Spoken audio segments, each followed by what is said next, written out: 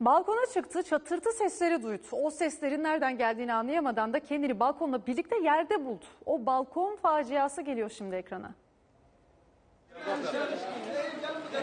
Yengem balkona çıkmış, balkon çökmüş. Balkon çöktü. Yaşlı kadın moloz yığınlarıyla yere çakıldı. Burnu bile kanamadı ama o anlar ona ölüm gibi geldi. Ölümle pençeleştim, ölümle.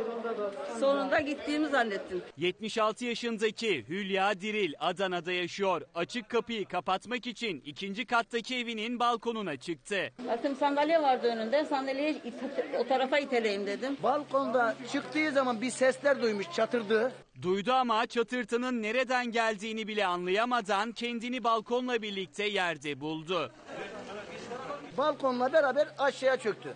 O esnada ben telefonla konuşuyordum. Bir baktım amcamın kızı dedim. Gittim. Yani Allah yardım etti. Evim eski, balkonda da çok rutubet vardı diyen kadın mucize kurtuluşunun ardından yeniden evine çıktı.